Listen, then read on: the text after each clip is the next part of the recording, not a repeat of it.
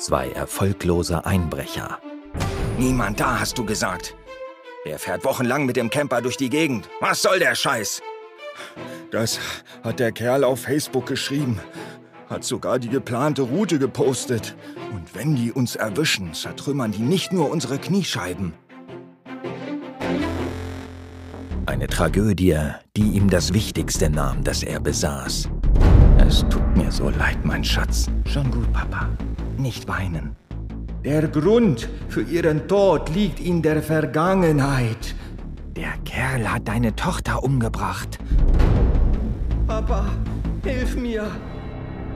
Eine Prophezeiung, die nichts Gutes verheißt. Am Sonntag werden sie ermordet. Du weißt es. Sie hüten ein dunkles Geheimnis, für das sie bald büßen müssen. Ah, verschwinde aus meinem Kopf! Eine unbequeme Wahrheit. Nein, warte! Das war's, Kumpel. Werden die uns jagen, Mike? Wollt ihr beide mich abservieren?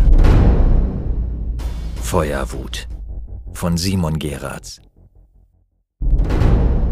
Gelesen von Alex Bolte.